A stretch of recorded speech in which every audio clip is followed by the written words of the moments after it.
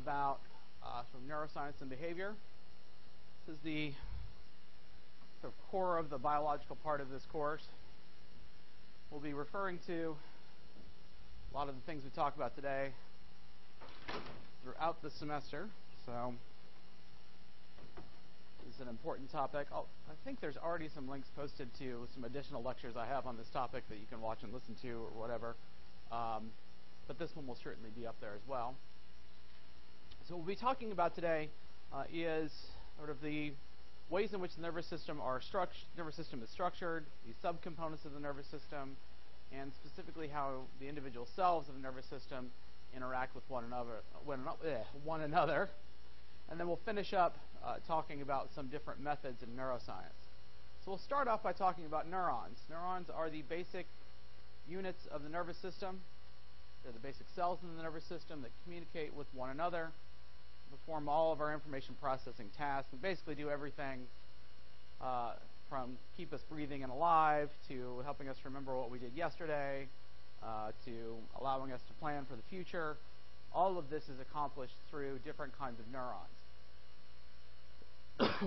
so it's pretty remarkable that these single cells and the way in which they talk to one another are able to accomplish the wide variety of things that all make us human. Relatively simple cells that function by the release of chemicals and an electrochemical process are able to really accomplish uh, some pretty complex things. And in fact, a lot of people really hope that one day we can try to figure out how this process works in order to get computers to work in the sort of same integrated sense. So we'll start by talking about components of the neuron. Each of these individual components are important. We'll start with the cell body, which is also called the soma. This is the part of the neuron that coordinates information processing tasks and keeps the cell alive. This includes the nucleus of the cell. Uh, this is where the, all the metabolic processes occur, including the mitochondria we talked about, we talked about last time. Um, all of that occurs in the cell body. Some neurotransmitters, which we'll talk about here in a bit, are manufactured in the cell body. Not all of them, but some of them. They're then packaged in what are called vesicles and sent towards the ends of the neuron. Dendrites of a neuron are the part of a neuron that receives information from other neurons and then relays it to the cell body along the outer membrane. So the dendrite are what we call receptors for neurotransmitters. So a neurotransmitter will bind to that receptor, then it will alter the electrochemical properties of the membrane of the neuron, causing it to generate what's called an action potential. I'll talk a little bit about the details of this without diving too deeply into the depths of the action potential. The axon then is a part of the neuron that transmits information to other neurons, muscles, or glands. So the dendrite is the receiving end of the neuron. The axon is the transmission end of the neuron. So for example, if you um, put your hand on something hot, sensory receptors will transmit that information. So the um, sensory receptors will transmit that information up their axons to the spinal cord uh, then interact with other neurons at their dendrites, and then send an action down to your muscles to get you to jerk your hand away. And so those axons will end at the muscles uh, and cause that kind of reflex action. We'll talk more about that in a moment. Another important part of neurons is a what's called the myelin sheath. This is an insulating layer of fatty material that covers the axon of some neurons, in particular sensory and motor neurons. So the myelin sheath is an important part of this process because it speeds up neural conduction, and we'll talk a little bit about why that is here in a moment. But the myelin sheath is a really important part of how our neurons function. Multiple sclerosis is what's called a demyelinating disease. So if some, someone with multiple sclerosis, their or sorry, their immune system starts attacking uh, the myelin sheath and breaking it down, which is why they lose sensory and motor coordination because it slows down their uh, neural processing. Glial cells are support cells found in the nervous system, and those are actually what make up the myelin sheath. In fact, they are uh, either oligodendrocytes or Schwann cells, depending on where you are in the nervous system. Glial cells are important support cells. They kind of what hold the nervous system together. In fact, in Latin or Greek or something, glial means glue. So they're actually the sort of cells that hold the brain together. In uh, the brain, we talk about white matter versus gray matter. White matter is myelinated neurons, gray matter is unmyelinated neurons. So here's a quick structure of these. It's kind of hard to read, I think, probably from the back. This is out of your textbook, though, so you should, be familiar with it. We have the dendrites, which branch off from the cell body. These are the receiving ends of the neuron. Those are then uh, directly connected to the cell body, which contains the cell nucleus, mitochondria, DNA, all of those things that a cell nucleus has. Then each neuron will have a single axon projecting from it, which will then interact uh, with what are called the terminal buttons with additional neurons at the other end. Those are then uh, connected to these dendrites. Well, actually, not quite connected, but are nearby the dendrites of the next neuron. You can see here the myelin sheath that covers the axon. What this then allows is what we're going to call what's called the action potential, which is an electrical signal. Rather than traveling down the full length of this axon, it actually jumps from each of these gaps, which are called the nodes of Ranvier, allows that electrical signal to travel much more quickly. This electrical signal is generated by the opening and closing of ion channels in the cellular membrane. So what happens is, in these gaps, that's the only spot where those ion channels have to open and close. They don't have to open and close the entire length of the neuron. So it travels much more quickly in a process called saltatory conduction. That saltatory conduction allows that electrical signal to jump from node to node rather than traveling the full length of the neuron.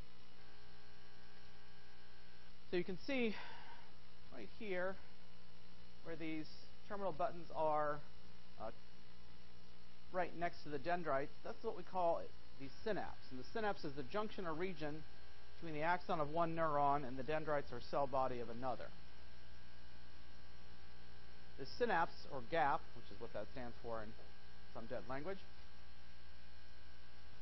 is where neurotransmitters are released and then bind with, by the axon, and they bind with the dendrite and cause or don't cause an action potential,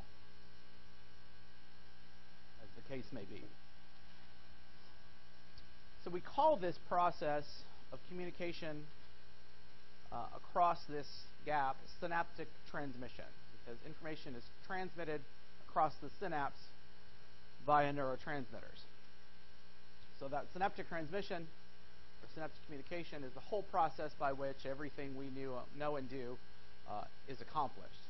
So the core processes are release of neurotransmitters by the axon, they bind with the dendrite, and they generate an action potential, which then travels the length of the axon, causing the release of neurotransmitters by the axon, which then bind to the receptor sites of the dendrites of the next neuron. It's basically everything we know and do is a game of handoff from one neuron to the next uh, transmission occurs that way. So looking closer at the synapse, uh, we see this is the terminal button of the axon of a neuron, the sending neuron. This electrical transmission has arrived. Then there are neurotransmitters contained in bundles called vesicles. Those vesicles then will bind to the uh, membrane of the neuron and then open. Uh, that is, they will undergo exocyto- exocytosis. That is, they will dump their neurotransmitters into the synapse, which then bind with these receptor sites. What happens is this electrical signal causes what are called calcium-gated ion channels to open, and that calcium enters the cell and it causes those vesicles to fuse with the cell membrane, and then those neurotransmitters are released into the synapse. These vesicles are usually packaged those neurotransmitters are created and packaged in the cell body and travel down the interior of the axon, and then they wait down in the terminal buttons for this all to occur. We'll talk more about this whole electrical process and how it occurs here in a moment, but I want to talk about some different kinds of neurons uh, before we do that. So we have sensory neurons. These are neurons that carry sensory information. So they receive information from the external world and convey this information to the brain via the spinal cord primarily. Uh, there are, of course, plenty of our senses uh, that don't synapse at the spinal cord, but in general, when we're talking about uh, the body senses or somatosenses, uh, they are going to synapse at the spinal cord. Uh, the visual system, the auditory system, uh, taste, and smell uh, do not go through the spinal cord, but all travel through other parts of the brain. motor neurons are neurons that carry signals from the spinal cord to the muscles to produce movement. This is how we walk and breathe and do all sorts of other things. so all of those muscles are controlled by uh, motor neurons. And then at the spinal cord, we also have what are called interneurons. We also have interneurons in the brain, too. But really, uh, we're going to talk uh, about the relationship between sensory neurons, motor neurons, and interneurons uh, at the level of the spinal cord. So they carry information between sensory motor neurons or other interneurons. So they basically are how everything gets connected together. So sensory neurons and motor neurons don't directly sort of talk to one another or don't synapse with one another. Uh, they synapse at the spinal cord, sending information up to the brain and also to the interneuron. These three neurons in the um, spinal cord create what's called a reflex arc. We'll talk about here in a second. I thought this was next. Uh, but basically what happens with the reflex arc is if you touch something hot, for example, your hand will jerk away from it. The brain never gets involved uh, because the sensory neuron sends information to the interneuron, which then sends information to the motor neuron. There are different kinds of specialized neurons based on their location and their function. Uh, Purkinje cells, for example, are only contained within the cerebellum. Uh, pyramidal cells are an important part of the hippocampus. Bipolar cells have important uh, properties in other areas.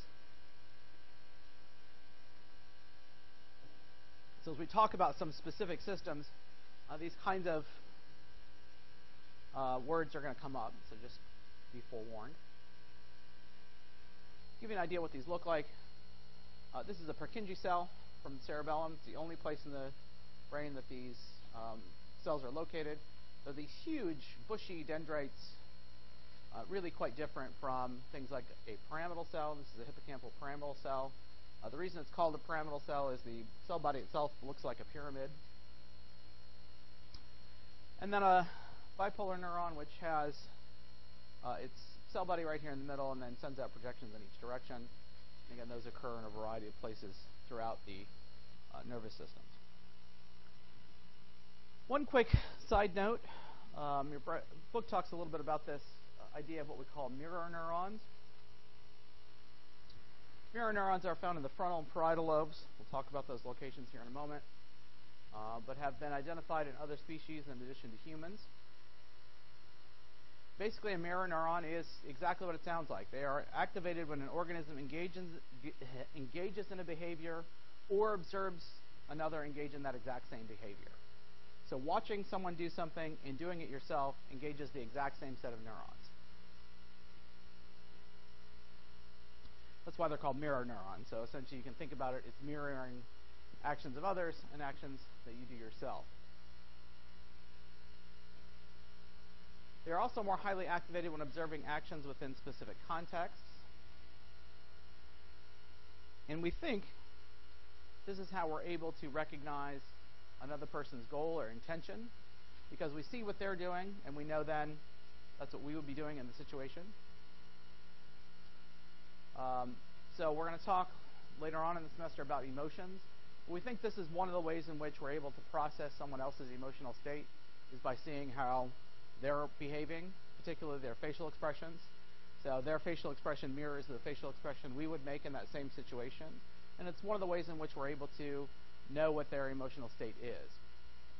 It's also one of the ways in which we're able to predict what other people are about to do. So, uh, for example, somebody who's about to throw something at you, right? You're able to predict that because you know exactly what they're about to do. It's also how you're pretty clear that you're about to get slapped or hit. Uh, so these are ways in which we're able to understand uh, the actions of others. We'll talk a little bit more when we get into perception about how um, our senses sort of integrate together. So watching something is one of the ways in which we learn, for example. through observational learning. But also, uh, for example, we use visual information in ways uh, that we're often not aware. So, for example, hitting a baseball is almost impossible to do if you can't see the person throwing it. Okay? Because we use the information of what the pitcher has done to give us information about where the ball is going to go, how fast it's going to go, etc. So a Major League Baseball player cannot hit a baseball if they can't see the pitcher. Because that's where they get all of their information. They don't get their information from the ball itself. The ball, particularly a fastball, is traveling too fast to see. Um, so they get all their information about where to hit and whether or not to hit based on watching the pitcher themselves. This is probably some of this kind of neuroscience in action. Well, let's get back to talking about the basic processes involved in neurotransmission. Communication of information within and between neurons proceeds in two stages conduction and transmission. And this is an electrochemical action. Basically, we're talking about ions creating an electro- signal, releasing specific chemicals. This electrochemical action, conduction of the action potential, and transmission of by release of neurotransmitters is this kind of electrochemical action we'll be looking at.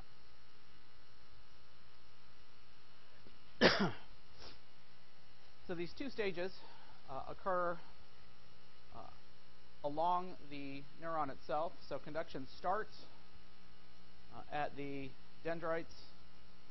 Eventually, we then get the conduction of an or the generation of an action potential, which conducts itself down the axon, and then eventually we get transmission uh, across the synapse by the release of neurotransmitters. So we'll start by looking at information within a neuron.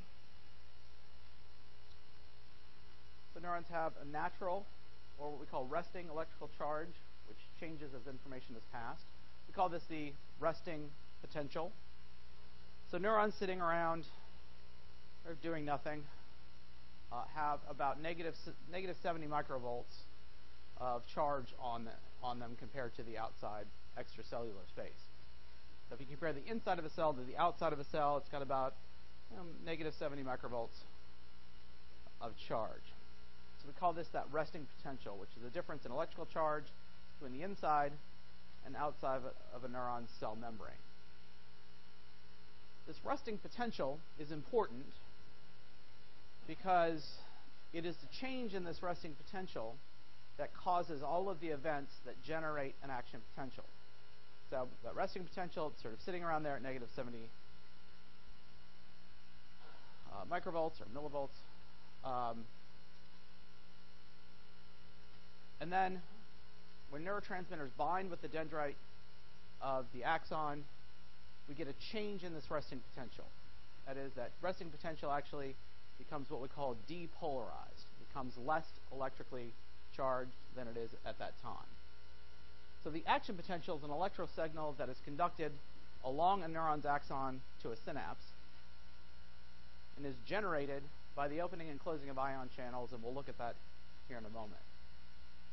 So the resting potential of a neuron uh, is generated by a variety of processes, including diffusion, electrical gradients, and uh, active protein pumps within the cellular membrane. So there's what's called the sodium-potassium pump. It grabs two ions in exchange for three other ions, and it maintains this electrical charge um, all the time.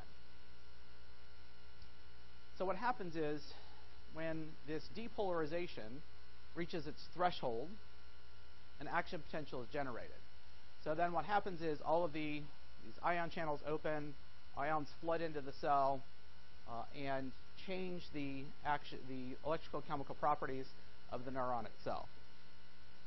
So once that threshold is re- reached, that is, once we have crossed the threshold for that particular neuron, an action potential is fired no matter what. And there's no large action potential, there's no small action potential because uh, what happens is those ion channels just open. And so all of them open at once once you have reached this threshold. So it's basically like flicking a switch, and everything happens all at once. As a result of some of this process, neurons have what's called a refractory period. This is a time following an action potential during which a new action potential cannot be generated.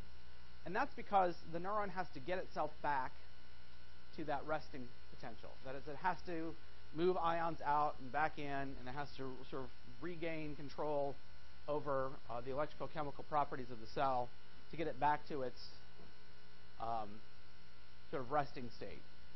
Doesn't always have to get all the way back to, but it has to get back above that threshold uh, of that uh, action potential generation.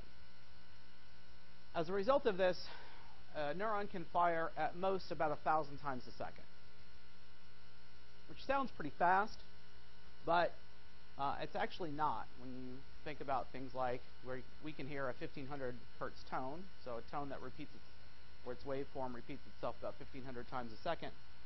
And that means that a neuron can't code for anything, it can't provide us information for anything that requires it firing more than a thousand times a second. I don't know why this is here. Um, saltatory conduction then is the process by which uh, this action potential gets speeded up by jumping from one node of Ranvier to one to another, and that's due to that myelin sheath.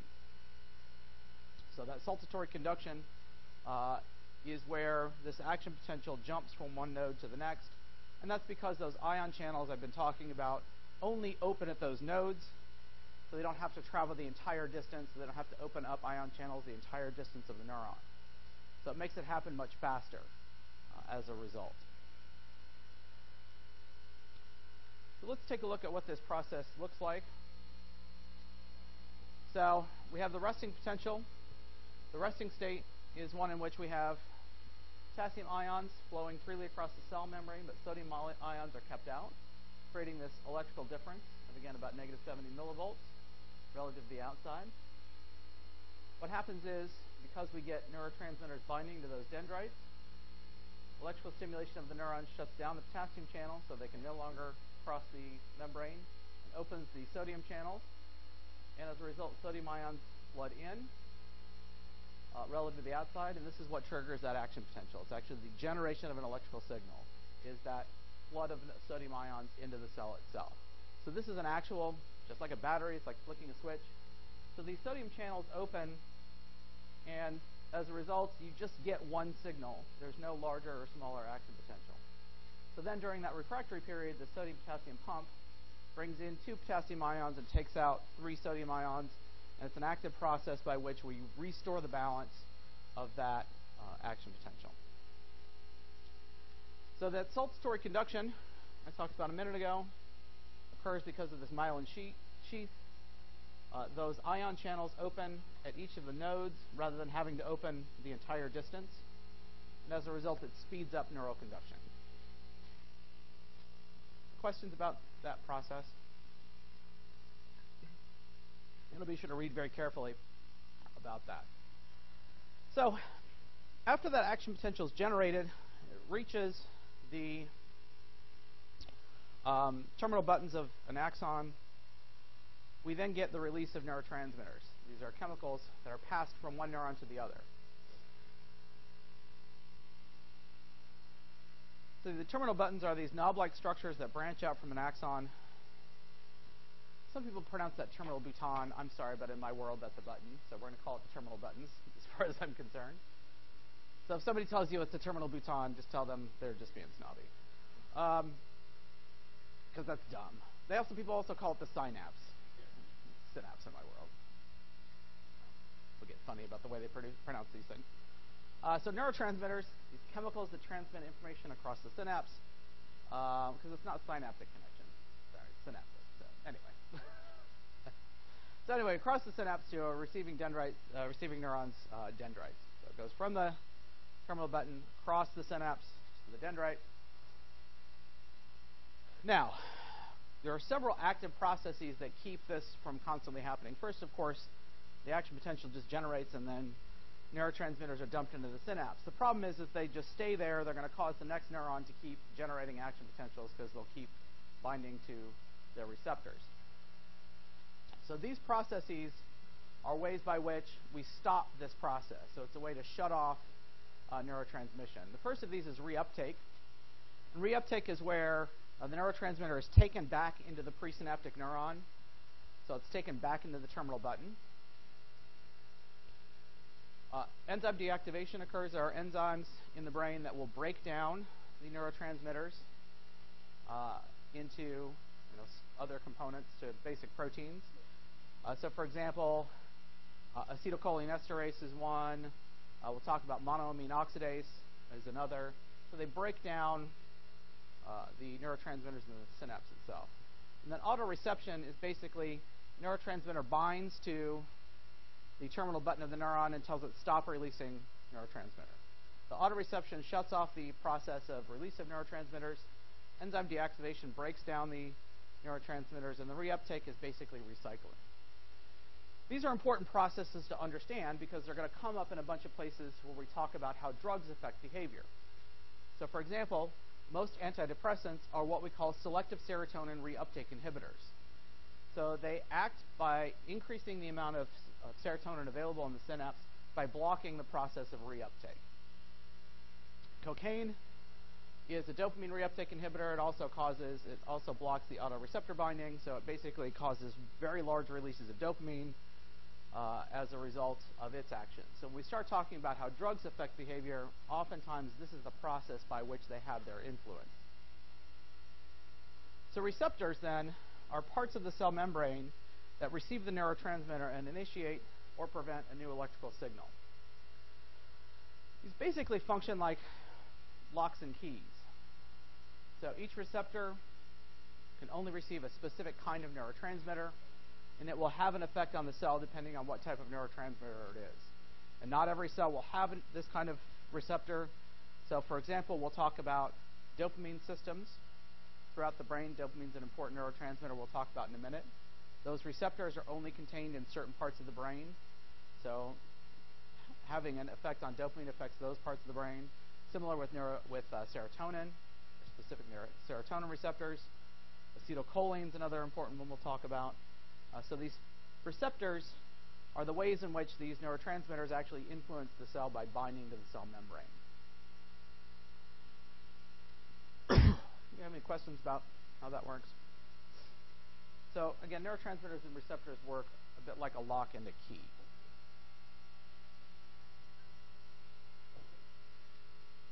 Now, uh, one important part of this, which we'll either talk about uh, later today, I can't remember if it's in this lecture or in a later lecture on drugs, is some drugs can mimic the effect of a neurotransmitter.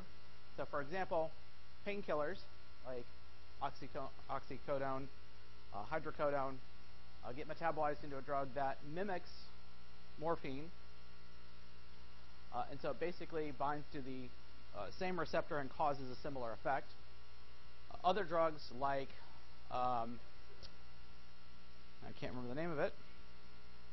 There's a drug that blocks, I'll think of it in a second, that actually blocks the uh, receptor site for uh, the same kind of drugs uh, and will actually reverse an overdose by blocking that key.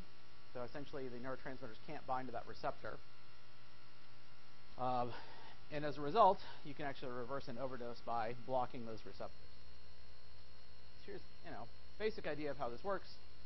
We have neurotransmitters packaged in vesicles. The action potential causes them to be released into the synapse. Uh, then we have these variety of processes, so they bind to the receptor sites, or they're you know freely releasing here. Then they get taken back into the neuron through reuptake. Uh, they get broken down by enzymes, or they bind to the uh, autoreceptor and cause uh, the neurotransmitter to not be released any further. So I want to take you through some of the important neurotransmitters. Uh, these are, are broken down into different kinds of chemical classes, and we won't talk about that in here. First, first of these is acetylcholine.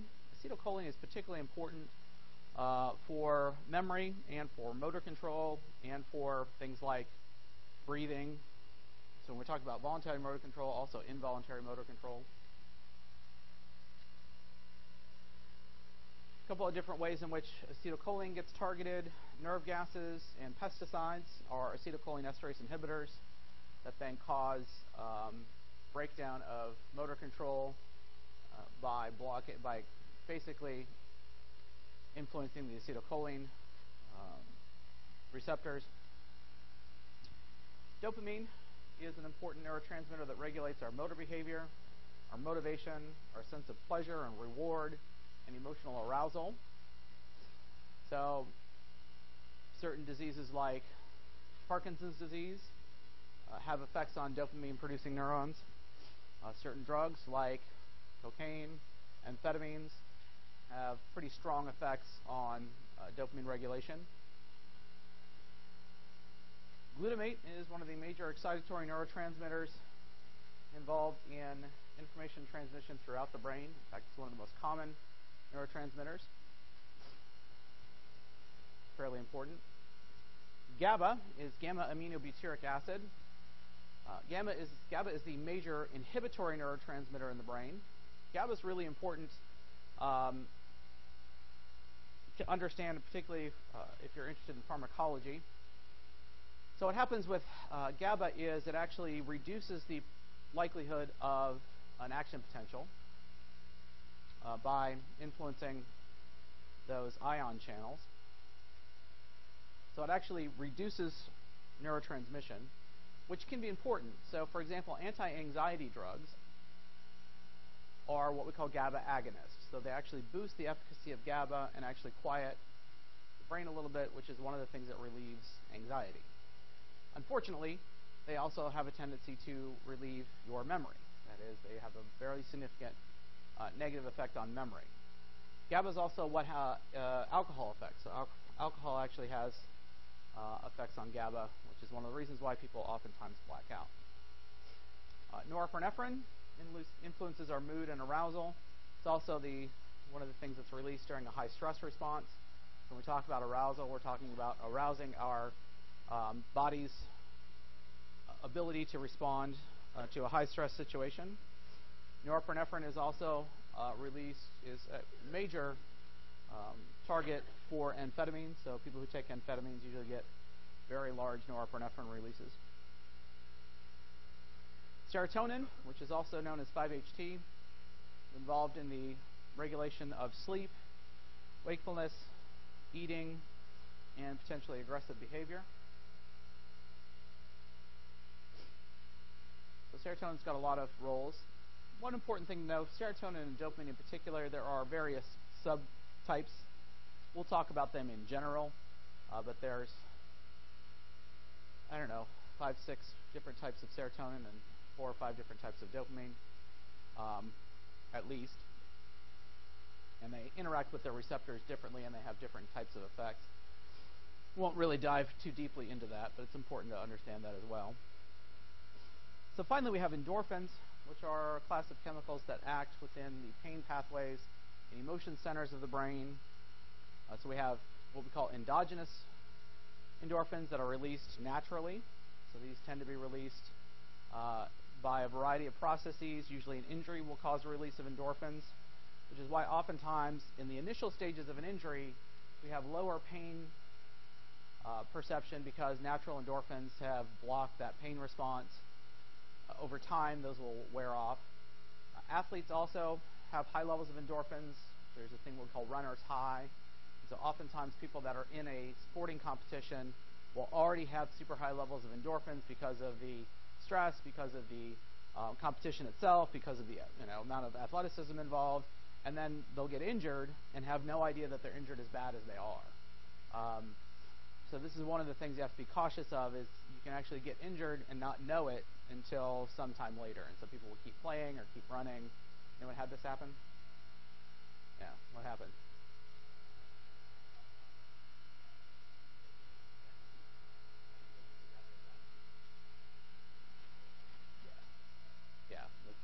last time something, my sister did the same thing. She was in the middle of a rugby match and stepped wrong and tore her ACL, but Ken kept going. And then, of course, the ne- you know, the next day her knee's like this big. Right? We'll talk about inflammation. And one of the other things that happens is not just the endorphins wear off, but inflammation comes in, and then now you, you know, your ankle was probably by the time you looked at it was a giant. Yeah, yeah, uh, yeah. It's the kind of thing that happens a lot to to athletes um, because you have that high level of endorphin. It's also why people get addicted basically to running because they get that runner's high. I mean, it's not a bad thing to be addicted to. I'm not trying to say that. Addiction's not always a bad thing. I mean, you know, some of us are addicted to coffee. It's only because this class is later in the afternoon that I don't have it right now. All right, so how drugs mimic neurotransmitters. So this is today. Uh, drugs affect the nervous system by increasing, interfering with, or mimicking neurotransmitters.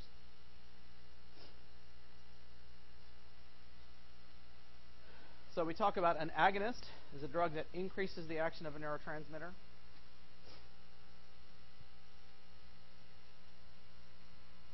An antagonist is a drug that blocks the function of a neurotransmitter.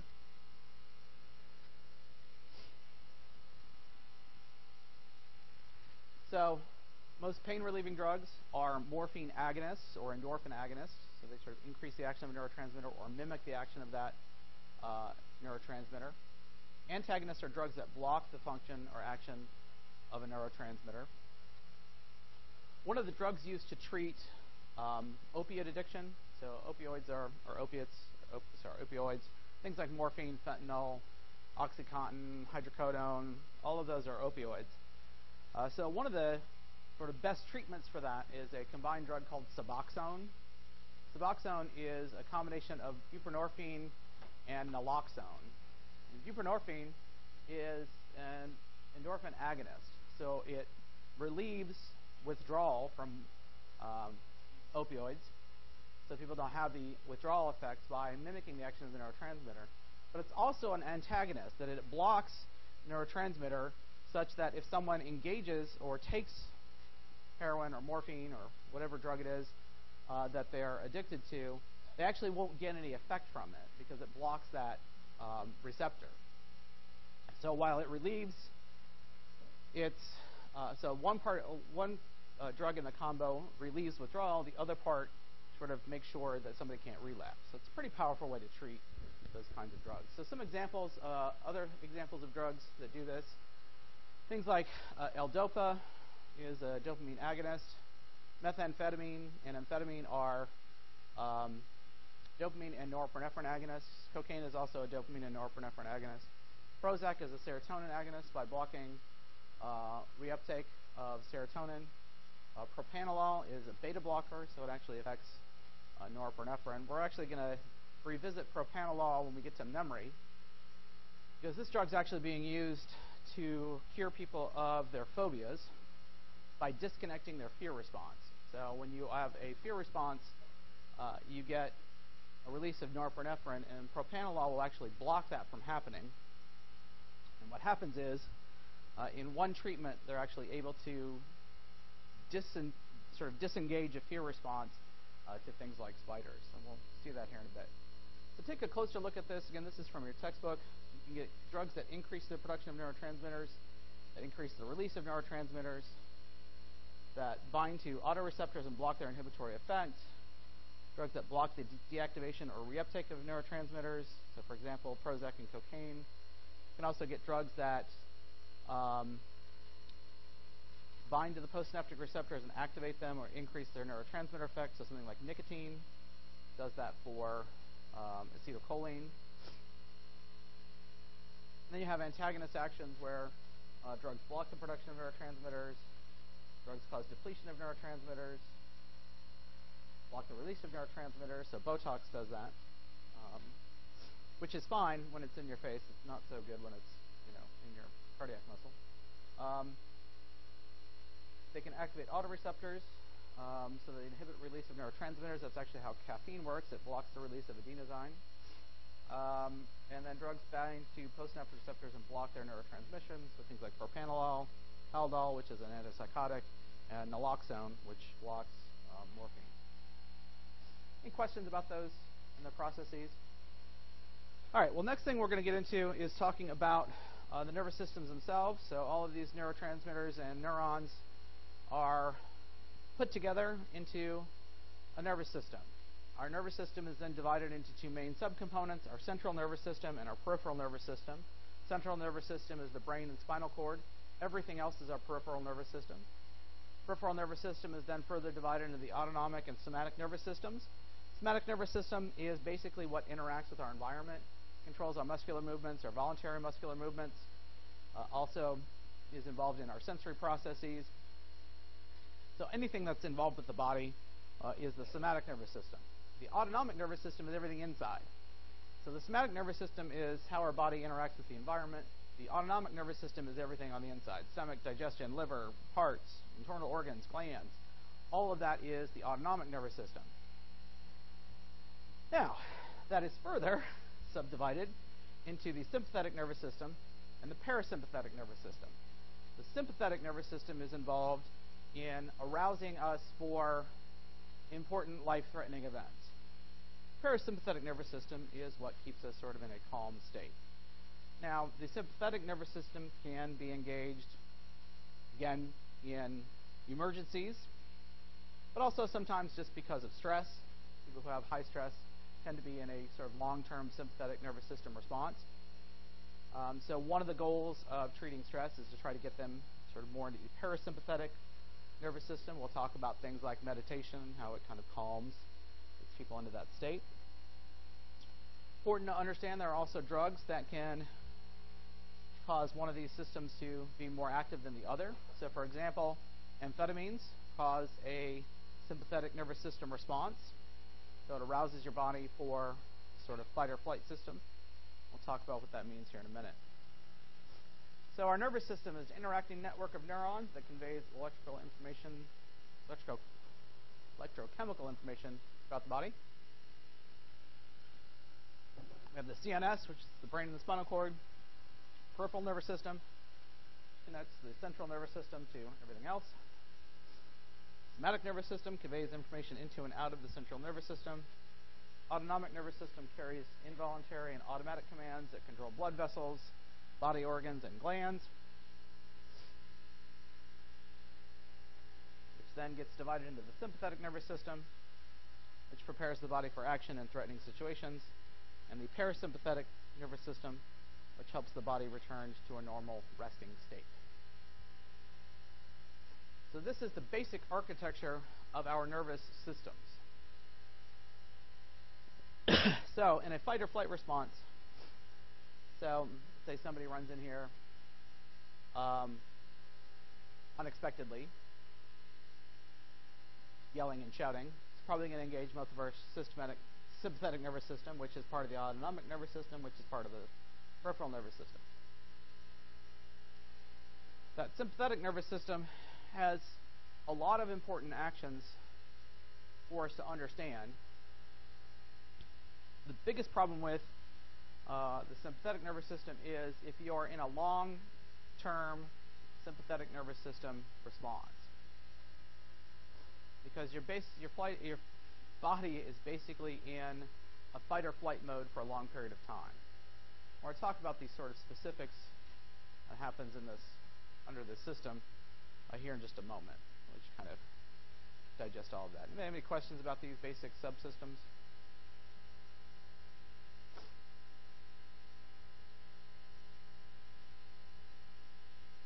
And all this occurs through uh, the action potential. And while we're here, let's take a moment.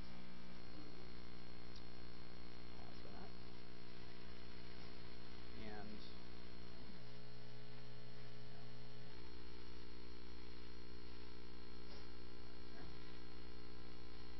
another quick review question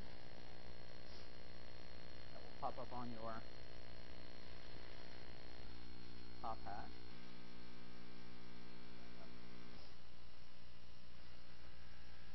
So take a few seconds and um, go and answer that question about the action potential on top hat.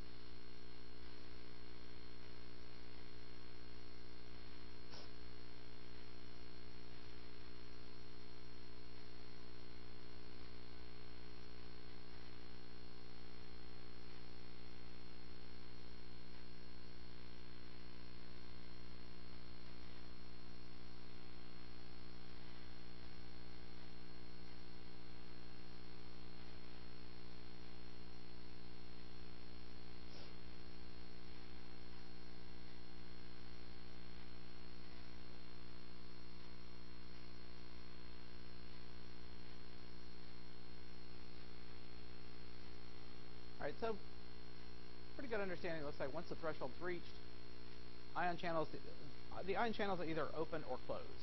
All right, so the potassium uh, channels are usually open, sodium channels are usually closed. Once the action potential is generated, that situation reverses, and it happens or it doesn't happen. And so there's no the large action potential or small action potential as a result of that. Okay. Let's get back to talking about the sympathetic nervous system. So, I did want to take a minute and sort of give you an idea about why um, being in a constant state of sympathetic nervous system activity is such a such a problem. So here's what happens. Um, you know, car runs out in front of you, somebody runs out in front of your car, something. You about get run over. Happens all the time around here. Um, these are the things that are going to happen. The first thing is your pupils dilate. The reason for that is so that you can gather more information. So more light gets into your um, eye. You can um, gather more information, information quickly. You can spot problems. It will relax your bronchi. And that's allow to allow for a much faster exchange of oxygen between blood and the environment. Uh, again, accelerates your heartbeat. The entire goal of these two things is to get as much oxygen and blood uh, to your muscles as possible so that you can run, flee, lift a car off of your child, whatever it is that's required at that time. The other thing that happens is it inhibits your digestive activity. Well, also, uh, the other thing that happens, and the reason this happens, um, is that you will, uh, the blood vessels to your internal organs will shrink. That is, you will end up with what's called vasoconstriction.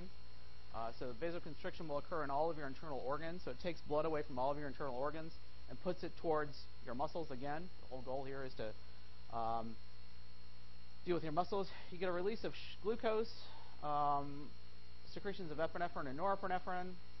Um, one of the things that um, happens here is because blood vessels have all shut off to your sex organs. Um, the point at which an erection isn't going to happen in a male um, which is problematic because uh, one of the things people like to do is take methamphetamine, uh, which stimulates the sympathetic nervous system response, and have sex. Problem is, is these two are generally uh, don't coincide well together. So people who take methamphetamine are in this kind of state for often long periods of time, uh, which is why uh, they end up with internal organ damage. Their teeth fall out because there's no blood going to their um, gums. Uh, there are also can end up with some diabetes problems because of this glucose release. And then also they end up taking other drugs like Viagra to try to overcome those problems. Parasympathetic nervous system is the exact opposite. You'll get hungry again, your heartbeat will slow down, your bronchi will constrict, your pupils will go back to a normal size, um, and then you'll actually you know, be able to pee again. So uh, basically all of this is designed to throw all of your resources towards uh, fight or flight response. So some other notes about the um, nervous system. So the central nervous system is, of course, the spinal cord and the brain.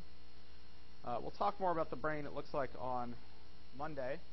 Uh, we'll get to a bit of it today. One of the things I talked about earlier is the spinal reflex. There are simple pathways in the central nervous system that rapidly generate muscle contractions. So basically, we have a sensory receptor sends information up to spinal cord, uh, that information will go to the brain, but before it even gets to the brain, it has generated a reflex arc. So it will activate the interneuron. The interneuron will activate this motor neuron, which will cause you to uh, come away from whatever it is that you have done. These reflexes occur uh, to cause this action to happen more quickly. Otherwise, you can end up with tissue damage if the brain took long enough for you to consciously do so. Now, you can consciously override some of this, but eventually uh, not. So the spinal cord and the brain collaborate in more complex tasks. So sensory information does get transmitted up the spinal cord, and of course motor information down the spinal cord. So walking, you know, throwing a baseball, all of those are these kind of complex tasks in which the spinal cord gets involved. Brain doesn't get involved at all in a reflex. Now it knows about it, but it certainly doesn't get involved in the actual reflex action, which is an important uh, thing to understand questions about that simple? All right, well, we'll get into uh, some of these structures of the brain, much to much as we can today. There are three major um, divisions of the brain: the hindbrain, the midbrain, and the forebrain. Some people divide this up differently: the mesencephalon, the telencephalon, and the diencephalon. Uh, and what they include in the midbrain and the hindbrain is oftentimes different. Basically, the hindbrain is the brain stem, cerebellum, which is just behind it. Uh, the parts of the brainstem that are included include the medulla, the pons, etc. The midbrain then uh, tends to include structures just uh, top of the uh, spinal cord, including things like the basal ganglia. And the forebrain tends to be pretty much everything else. The forebrain is really what we call the neocortex, and also some sort of cortical systems. So the hindbrain coordinates information coming into and out of the spinal cord and controls most of our basic life functions. So we have uh, the reticular formation and the medulla. This is what keeps your heart beating, keeps you breathing. That's accomplished right here. So you can basically be alive with just this functioning. Um, not much of, not for long, but it will keep you breathing. Um, the cerebellum gets involved in a variety of different tasks, in particular, sensory motor integration and timing. Uh, so, for example, your ability to catch a ball is oftentimes part of that information is processed in the cerebellum because you have to incorporate a lot of sensory motor information. So these are kind of some of the basic functions uh, that the hindbrain is going to accomplish. We won't spend a great deal of time talking about it. Um, down here in the medulla is, in the reticular formation particular, part of this called the periaqueductal gray, which is where pain relief occurs. So when we start talking about pain, we'll get down into this area. Important to understand the receptors for pain relief are also right here in that brain area, which means when people take opioids, one of the things that happens is their respiration gets um, reduced. And so when people overdose on opioids, they stop breathing. And that, again, is due uh, to action there at the medulla. So that's the medulla, the reticular formation, the cerebellum, and the pons all of the components of uh, the uh, hindbrain. The pons is uh, basically where information from the right side of your body crosses over to the left side of your brain, the left side of your body crosses over to the right side of your brain. Um, so the sensory information from your and information to your motor uh, system crosses over there at the pons. So that's the hindbrain. Uh, not a lot of advanced functioning. We won't talk a great deal about it uh, throughout the semester, but it's important because it does, you know, keep us alive. Uh, the midbrain includes the tectum and the tegmentum. Some people include the thalamus.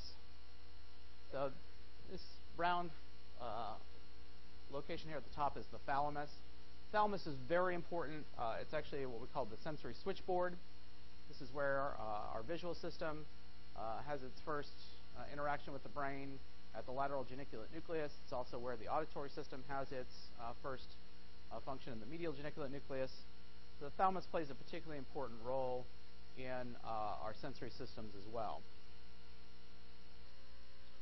Forebrain is where we're going to spend most of the semester.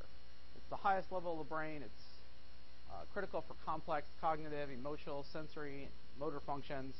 Really, all of our consciousness, all of this occurs uh, from uh, this uh, part of the brain. So the forebrain includes includes the cerebral cortex, or what's called the, the cerebrum, uh, it's also sometimes called the neocortex, because it's the newest sort of part of the brain evolutionarily. Uh, pretty much every species on the planet has a hindbrain and a bit of a midbrain and probably a little limbic system, uh, but the cortex is really uh, what separates us from everyone else.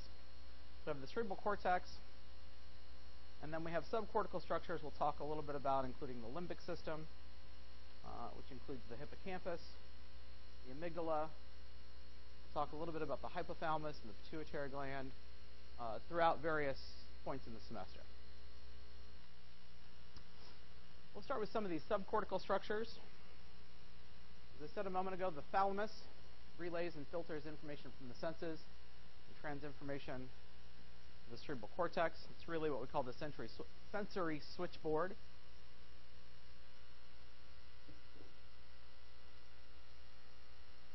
And the thalamus is located really right there atop uh, the midbrain. The hypothalamus, uh, which just simply means small thalamus, uh, is really important in a variety of regulatory functions, so things like our body temperature, uh, knowing when we're hungry and thirsty, our sexual behavior, all of this is regulated by the hypothalamus. Hypothalamus is generally considered part of the limbic system. So we'll consider that here in a bit. So it's a particularly important part of the brain, uh, which is surprising given its very small size. Pretty small part of the brain. Located right next to the hypothalamus is the pituitary gland, which is sort of the master gland. It sort of is in charge of all of the rest of our endocrine system. So all of the body's hormone-producing systems are generally governed by the pituitary gland. The pituitary gland releases hormones that direct the functions of many other glands in the body. The hypothalamus and the pituitary gland work together. In fact, the hypothalamus oftentimes directs the pituitary gland um, to uh, release hormones. It's an important combined uh, process. So the pituitary gland releases um, hormones that cause your testes to release testosterone, causes your ovaries to start producing a follicle, which then uh, causes the release of uh, certain hormones. Also directs the adrenal glands to release adrenaline, uh, etc. So it's a particularly important part of understanding the body. So those are some important subcortical structures. We'll next take a look at uh, the limbic system, which is a particularly important set of uh, subcortical structures that interact more directly uh, with a number of psychological phenomena we'll talk about, in particular memory, emotion, uh, etc. So the limbic system is this group of four brain structures involved in motivation, emotion, learning, and memory.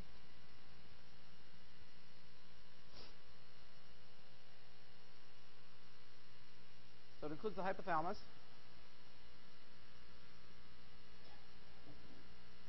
Also includes part of the brain called the amygdala, which plays a central role in many emotional processes, in particular the formation of emotional memories. Many people link it more closely to primal emotions, so anger, fear, etc. Um, but it certainly has an important role in the formation of emotional memories. It di- directly connects and interacts with the hippocampus, which is the part of the brain that forms all of our memories. So the amygdala and the hippocampus uh, are both particularly important uh, parts of our memory formation system. So the hippocampus is critical for creating new memories and in- integrating them into a network of knowledge so that they can be stored uh, indefinitely in other parts of the cerebral cortex. So the hippocampus is critical for memory formation. We'll talk later about some uh, cases where people have hippocampal damage, or in the case of patient HM, had both his left and right hippocampi removed. And as a result, he was no longer able to form new memories. So the hippocampus is particularly important for forming new memories. And also things like our ability to find our way around. So spatial memory and memory for context are also very important in the hippocampus. So if you're looking at uh, maps of the brain and try to find these, the amygdala uh, is almond shape. Amygdala is almond and you know, something.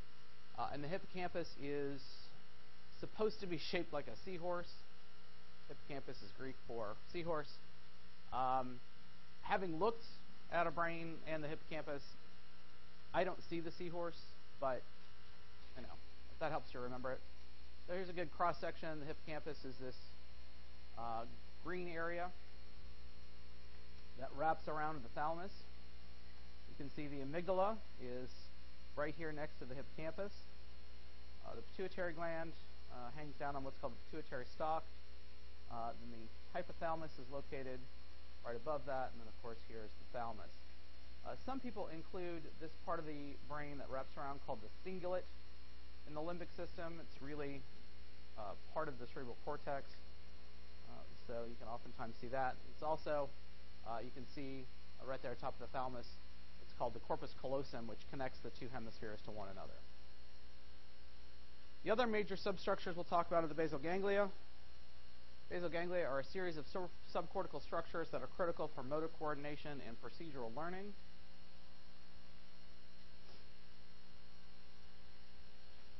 Basal ganglia are what are impacted by Parkinson's disease, in particular a part of the basal ganglia called the substantia nigra. We'll talk about them in a couple of areas, but biggest thing you need to know about the basal ganglia is they are involved in uh, motor coordination. So the basal ganglia include the substantia nigra, uh, the globus pallidus, and the striatum. And these structures work together to help us inhibit motion and execute motion. And it's important that the balance between these structures be maintained, otherwise people end up with things like tremors uh, in something like Parkinson's disease, or eventually are unable to initiate motion at all, again, due to that. It's also where uh, we get learning of things like procedures, so how to do things like ride a bike. Uh, that all occurs uh, there at the basal ganglia. So the cerebral cortex uh, is the highest level of the brain.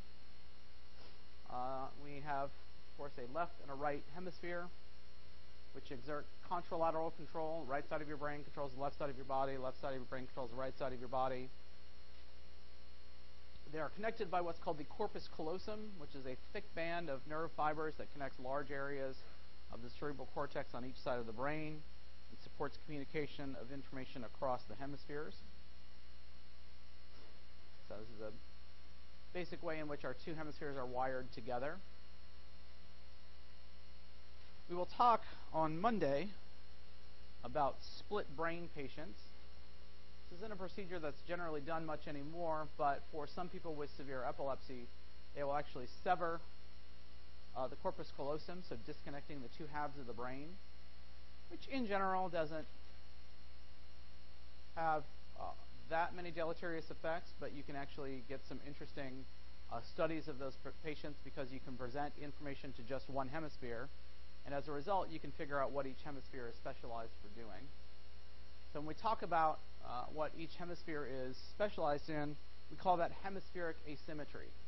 It means that some task is not symmetrical across the hemisphere. So for example, for most of us, particularly people who are right-handed, all of our language is processed in the left hemisphere. People who are left-handed oftentimes will have their language uh, distributed across both hemispheres. So within each hemisphere are four lobes of the cerebral cortex. We have the occipital lobe, which is located in the back which processes visual information. That's all the occipital lobe does is process visual information. We have the parietal lobe, which is kind of just above that, which processes information about touch, does a lot of other things too, attention, other kinds of visual information. The temporal lobes are generally responsible for hearing and language. Certainly, that's where our primary auditory cortex is. And then the frontal lobe is uh, one of the things that really separates us has specialized areas for movement, abstract thinking, planning, memory, judgment, um, executive functions. Frontal lobes are really where a lot of um, our experiences as human beings, where we direct our actions, where we direct mo- our movement, uh, where we encode memory information, where we process retrieved memory information, where we work with information and working memory. It's where we plan and direct future actions. So anytime you've got more abstract thinking, when you're trying to think about the future, when you're trying to integrate past with the future and make plans, all of that's occurring in the frontal lobe. Frontal lobe is also unfortunately susceptible, highly susceptible to damage, particularly uh, from what we call mild traumatic brain injury. So these are people who have uh, head injuries, what we used to call concussion, uh, where they've gotten into a car accident, uh, had uh, an explosive device go off near them, uh, their football player rodeo, hockey, all of these things can cause um, particular damage in particularly the frontal lobe. And we'll talk more about that uh, later on. So we refer to some of these areas as what we call association areas. These are areas of the cerebral cortex that are composed of neurons that help provide sense and meaning to information registered in the cortex. So we'll talk about motor areas, we'll talk about sensory, sensory areas, and then association areas are the areas like uh, the fusiform face gyrus that helps us recognize faces. Uh, we'll talk about the inferior parietal lobule, which helps us uh, direct our attention in 3D space. All of these are areas uh, that help us provide sense and meaning uh, to information that's provided in the cortex. So then we often call these the association areas because they're not directly tied to a sense or some specific process, but in associating information, it's where our memories are, are stored. It's where our knowledge of what the capital of Maine is. All of that are these. So all of that is what we call these association areas. So this is a quick map of these areas. Certainly something you'd want to be able to identify on an exam uh, would be each of these lobes. So the temporal lobes are pretty simple. They're located right behind your temples. The occipital lobe, located at the back of the brain. Its only function is vision. Parietal lobes are located atop the temporal lobes and occipital lobes. This is where you do things like um, mathematics, directing of attention in 3D space, that sort of thing. And then the frontal lobes are particularly involved in things like um, planning and coordinating our future actions. Located right here uh, on what's called the central sulcus. So a sulcus is sort of an incropping of the brain. The frontal lobe is the primary motor cortex. Next one in the parietal lobe is the somatosensory cortex, which are lined up pretty much uh, directly together. So where your motor, primary motor coordination of your hands is, Right next to that is the somatosensory cortex for information coming from your hands. So we call those the primary motor cortex and the primary somatosensory cortex. So as you can see, the motor cortex is right here in the frontal lobe. The somatosensory cortex is right here in the parietal lobe. You can see, in general, they kind of line up together right next to one another. And that makes a great deal of sense when we're talking about integrating movement because we have to know where our limbs are in order to get them to move properly, right? So having that sensory information is particularly important. The somatosensory cortex is laid out in what's called a homunculus.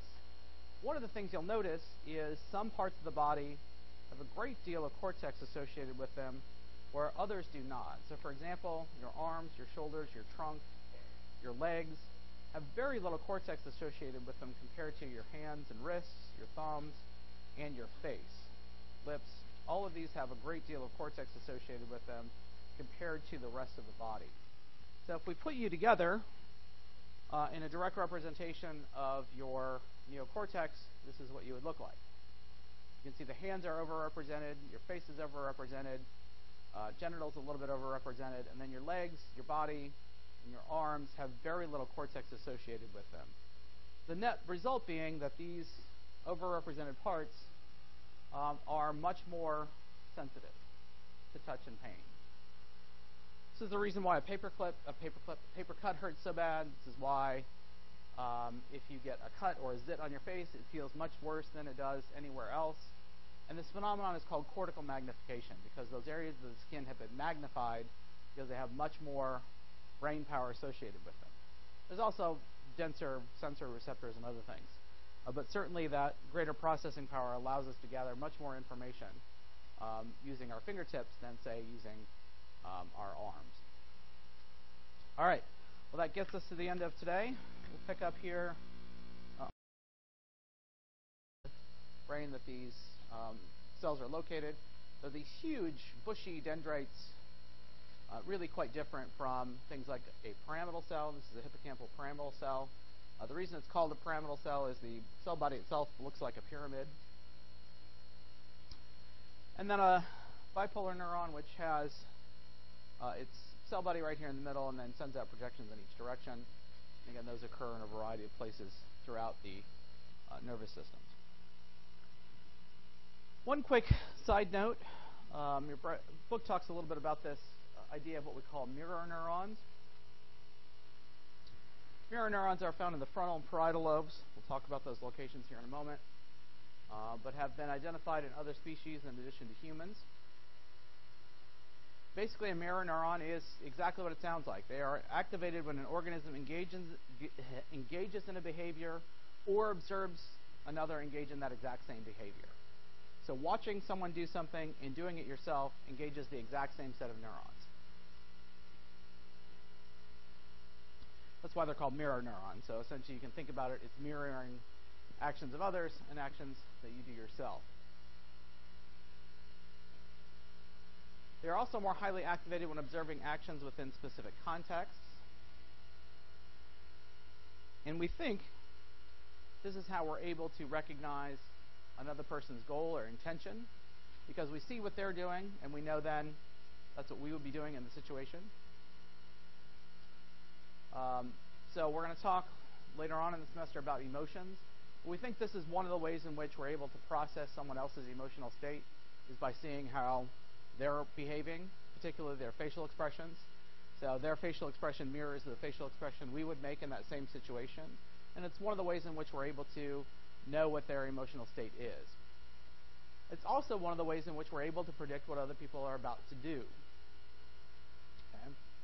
So, uh, for example, somebody who's about to throw something at you, right? You're able to predict that because you know exactly what they're about to do. It's also how you're pretty clear that you're about to get slapped or hit.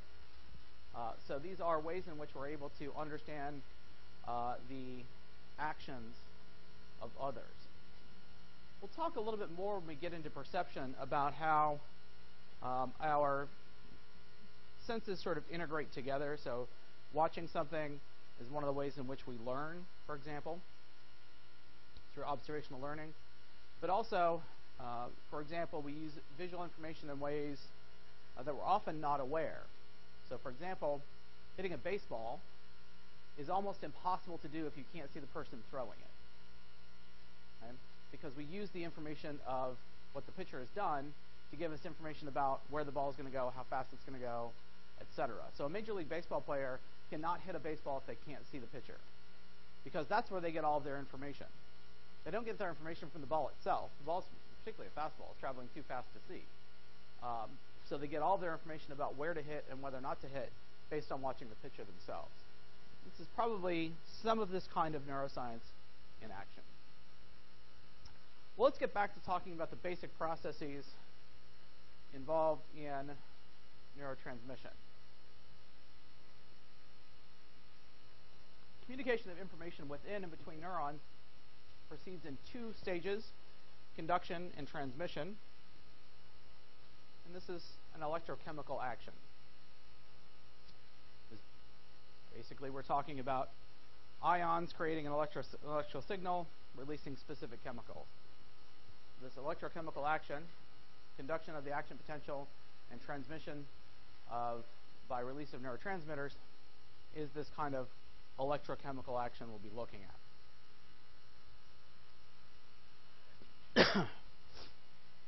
so these two stages uh, occur uh, along the neuron itself. So conduction starts uh, at the dendrites. Eventually, we then get the conduction of an or the generation of an action potential, which conducts itself down the axon, and then eventually we get transmission uh, across the synapse by the release of neurotransmitters. So we'll start by looking at information within a neuron. So neurons have a natural or what we call resting electrical charge, which changes as information is passed. We call this the resting potential. So neurons sitting around or doing nothing uh, have about negative, negative 70 microvolts of charge on, the, on them compared to the outside extracellular space. So if you compare the inside of a cell to the outside of a cell, it's got about um, negative 70 microvolts of charge. So we call this that resting potential, which is the difference in electrical charge between the inside and outside of a neuron's cell membrane. This resting potential is important because it is the change in this resting potential that causes all of the events that generate an action potential. So that resting potential, sort of sitting around there at negative 70 uh, uh, microvolts or millivolts. Um, and then when neurotransmitters bind with the dendrite of the axon, we get a change in this resting potential. That is, that resting potential actually becomes what we call depolarized. It becomes less electrically charged than it is at that time. So the action potential is an electro signal that is conducted along a neuron's axon to a synapse. So these processes are ways by which we stop this process. So it's a way to shut off uh, neurotransmission. The first of these is reuptake. And reuptake is where uh, the neurotransmitter is taken back into the presynaptic neuron. So it's taken back into the terminal button. Uh, enzyme deactivation occurs. There are enzymes in the brain that will break down the neurotransmitters uh, into you know, other components to basic proteins. Uh, so, for example, uh, acetylcholinesterase is one. Uh, we'll talk about monoamine oxidase is another. So they break down uh, the neurotransmitters in the synapse itself. And then autoreception is basically neurotransmitter binds to the terminal button of the neuron and tells it to stop releasing neurotransmitter. The autoreception shuts off the process of release of neurotransmitters. Enzyme deactivation breaks down the neurotransmitters, and the reuptake is basically recycling. These are important processes to understand because they're going to come up in a bunch of places where we talk about how drugs affect behavior. So, for example, most antidepressants are what we call selective serotonin reuptake inhibitors. So they act by increasing the amount of, of serotonin available in the synapse by blocking the process of reuptake. Cocaine is a dopamine reuptake inhibitor. It also causes, it also blocks the autoreceptor binding, so it basically causes very large releases of dopamine uh, as a result of its action. So when we start talking about how drugs affect behavior, oftentimes this is the process by which they have their influence. So receptors then are parts of the cell membrane that receive the neurotransmitter and initiate or prevent a new electrical signal. These basically function like locks and keys. So each receptor can only receive a specific kind of neurotransmitter and it will have an effect on the cell depending on what type of neurotransmitter it is. And not every cell will have this kind of receptor. So, for example, we'll talk about dopamine systems throughout the brain. Dopamine is an important neurotransmitter we'll talk about in a minute. Those receptors are only contained in certain parts of the brain.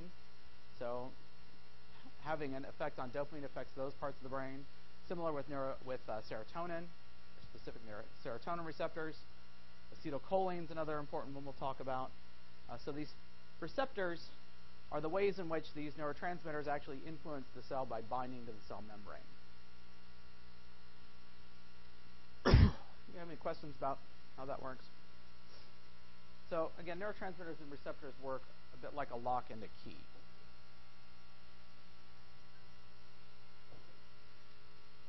Now, uh, one important part of this, which we'll either talk about uh, later today, I can't remember if it's in this lecture or in a later lecture on drugs, is some drugs can mimic the effect of a neurotransmitter. So, for example, painkillers like oxyco- oxycodone, uh, hydrocodone uh, get metabolized into a drug that mimics morphine. Uh, and so it basically binds to the uh, same receptor and causes a similar effect. other drugs like um, I can't remember the name of it. There's a drug that blocks, I'll think of it in a second, that actually blocks the uh, receptor site for uh, the same kind of drugs and will actually reverse an overdose by blocking that key. So essentially, the neurotransmitters can't bind to that receptor. Um, and as a result, you can actually reverse an overdose by blocking those receptors. So here's, you know, basic idea of how this works. We have neurotransmitters packaged in vesicles. The action potential causes them to be released into the synapse. Uh, then we have these variety of processes, so they bind to the receptor sites, or they're you know freely releasing here. Then they get taken back into the neuron through reuptake. Uh, they get broken down by enzymes, or they bind to the uh, autoreceptor and cause uh, the neurotransmitter to not be released any further.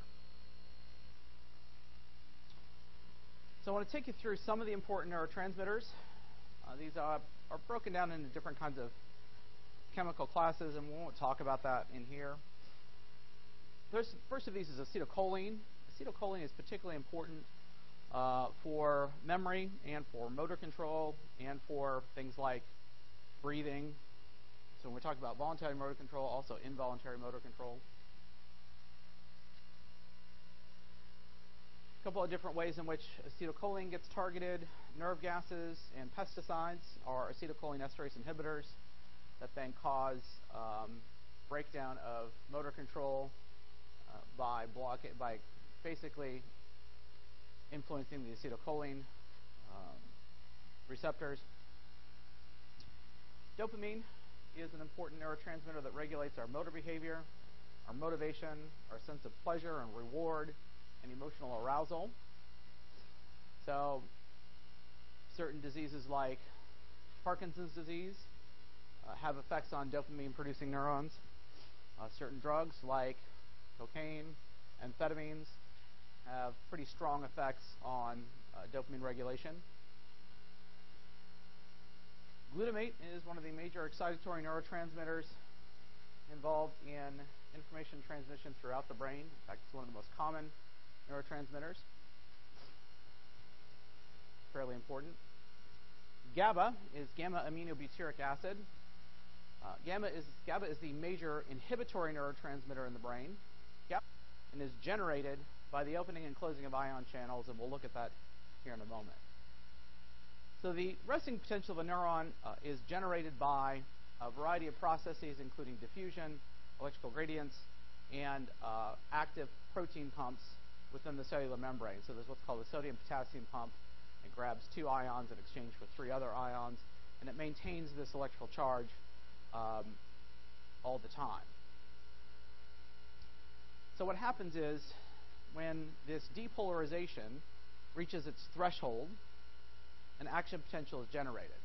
So then what happens is all of the these ion channels open, ions flood into the cell, uh, and change the action, the electrical chemical properties of the neuron itself.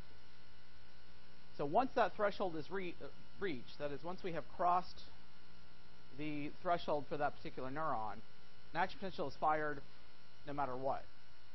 And there's no large action potential, there's no small action potential because uh, what happens is those ion channels just open. And so all of them open at once, once you have reached this threshold. So it's basically like flicking a switch, and everything happens all at once. As a result of some of this process, neurons have what's called a refractory period. This is a time following an action potential during which a new action potential cannot be generated. And that's because the neuron has to get itself back to that resting potential. That is, it has to move ions out and back in, and it has to sort of regain control over uh, the electrical chemical properties of the cell to get it back to its um, sort of resting state. It doesn't always have to get all the way back to, but it has to get back above that threshold uh, of that uh, action potential generation. As a result of this, a neuron can fire at most about a thousand times a second, which sounds pretty fast, but uh, it's actually not when you think about things like where we can hear a 1500 hertz tone, so a tone that repeats its, where its waveform repeats itself about 1500 times a second. And that means that a neuron can't code for anything, it can't provide us information for anything that requires it firing more than a thousand times a second. I don't know why this is here. Um, saltatory conduction, then, is the process by which uh, this action potential gets speeded up by jumping from one node of Ranvier to one to another, and that's due to that myelin sheath. So that saltatory conduction uh, is where this action potential jumps from one node to the next, and that's because those ion channels I've been talking about only open at those nodes, so they don't have to travel the entire distance, so they don't have to open up ion channels the entire distance of the neuron. So it makes it happen much faster uh, as a result. So let's take a look at what this process looks like. So we have the resting potential. The resting state is one in which we have potassium ions flowing freely across the cell membrane, but sodium ions are kept out, creating this electrical difference of, again, about negative 70 millivolts relative to the outside. What happens is, because we get neurotransmitters binding to those dendrites, electrical stimulation of the neurons shuts down the potassium channel so they can no longer cross the membrane and opens the sodium channels. And as a result, sodium ions flood in uh, relative to the outside, and this is what triggers that action potential. It's actually the generation of an electrical signal, is that flood of sodium ions into the cell itself. So this is an actual, just like a battery, it's like flicking a switch. So these sodium channels open, and as a result, you just get one signal. There's no larger or smaller action potential. So then during that refractory period, the sodium potassium pump brings in two potassium ions and takes out three sodium ions and it's an active process by which we restore the balance of that uh, action potential. So that saltatory conduction I talked about a minute ago occurs because of this myelin sheath. Uh, those ion channels open at each of the nodes rather than having to open the entire distance. And as a result, it speeds up neural conduction. Questions about that process? I'll be sure to read very carefully about that. So, after that action potential is generated, it reaches the um, terminal buttons of an axon. We then get the release of neurotransmitters. These are chemicals that are passed from one neuron to the other. So the terminal buttons are these knob-like structures that branch out from an axon some people pronounce that terminal bouton. I'm sorry, but in my world, that's a button. So we're going to call it the terminal buttons, as far as I'm concerned. So if somebody tells you it's a terminal bouton, just tell them they're just being snobby. Because um, that's dumb. They also people also call it the synapse. Synapse in my world. We get funny about the way they pronounce these things. Uh, so neurotransmitters, these chemicals that transmit information across the synapse, because uh, it's not synaptic connection. Sorry, synaptic. So anyway. so anyway, across the synapse a receiving dendrite, uh, receiving neurons, uh, dendrites. So it goes from the terminal button across the synapse to the dendrite. Now, there are several active processes that keep this from constantly happening. First, of course, the action potential just generates and then neurotransmitters are dumped into the synapse. The problem is if they just stay there, they're going to cause the next neuron to keep generating action potentials because they'll keep binding to their receptors the myelin sheath that covers the axon. What this then allows is what we're going to call what's called the action potential, which is an electrical signal.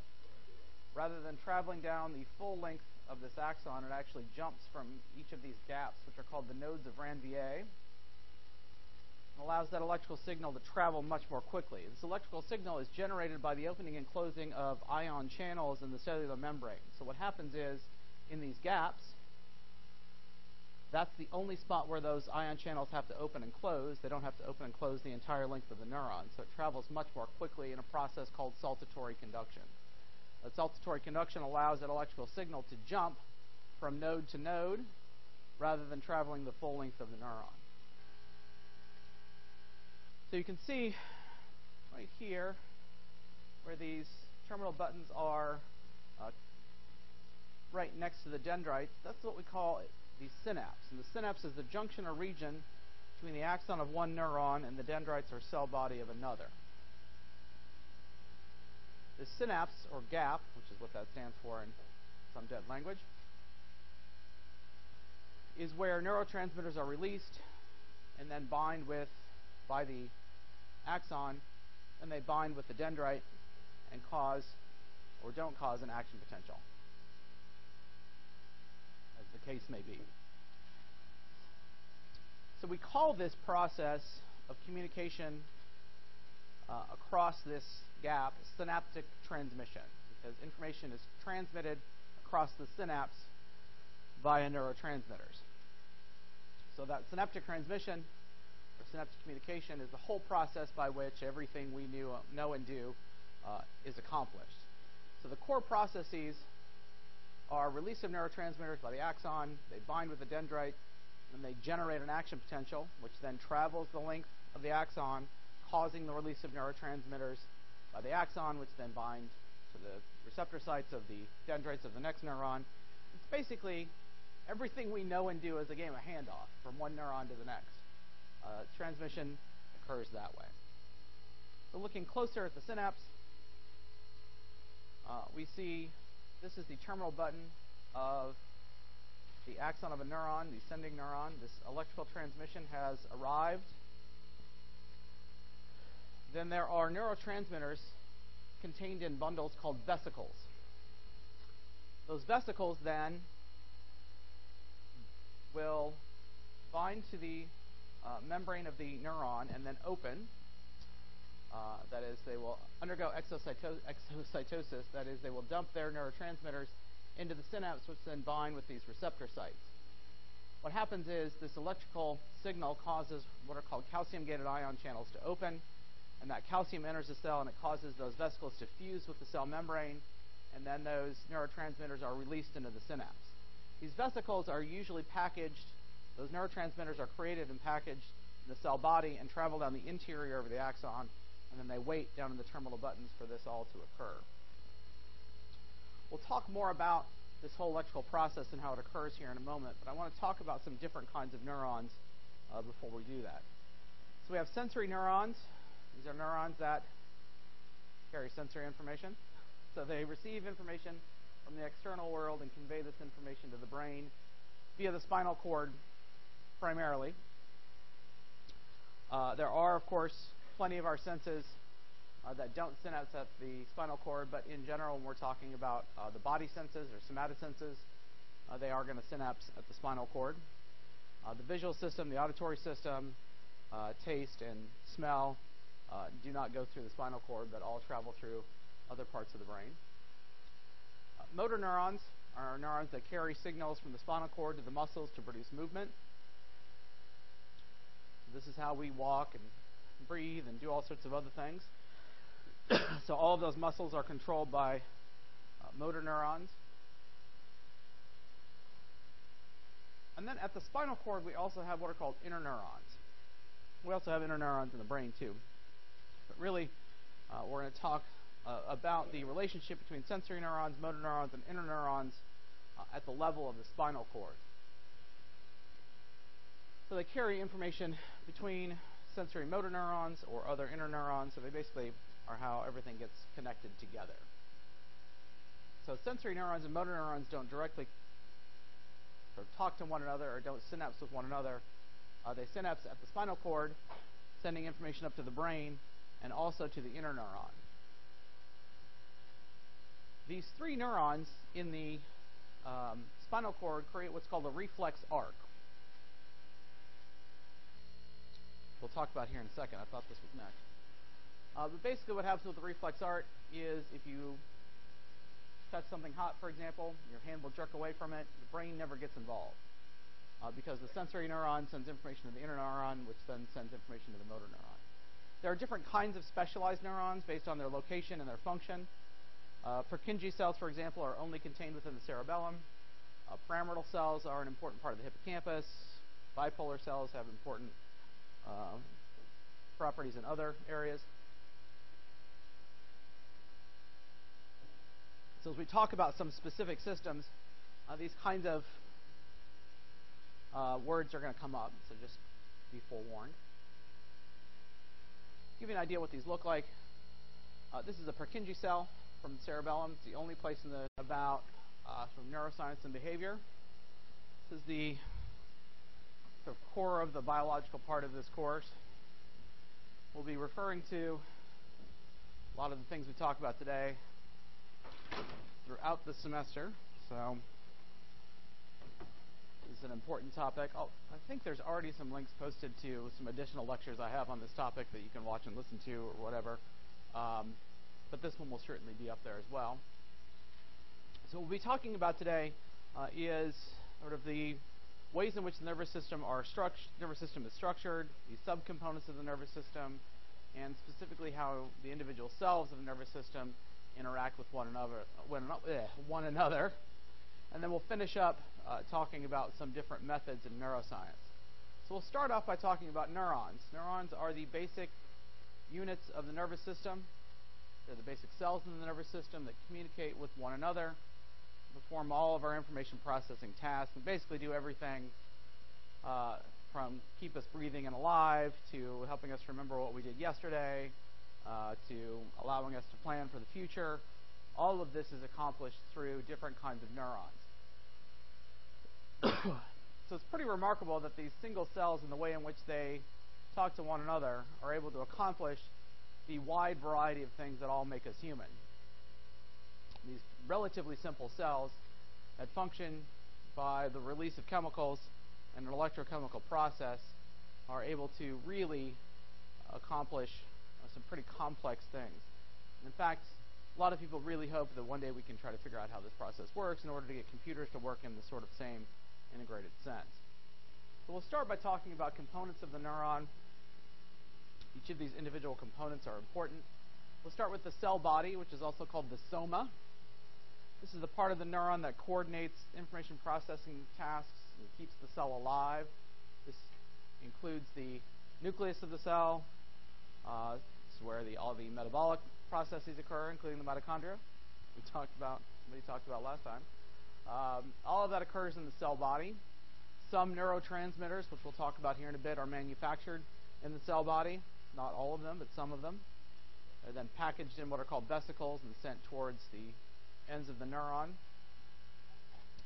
Dendrites of a neuron are the part of a neuron that receives information from other neurons and then relays it to the cell body along the outer membrane. So the dendrite are what we call receptors for neurotransmitters. So a neurotransmitter will bind to that receptor, then it will alter the electrochemical properties of the membrane of the neuron, causing it to generate what's called an action potential. Talk a little bit about the details of this without diving too deeply into the depths of the action potential.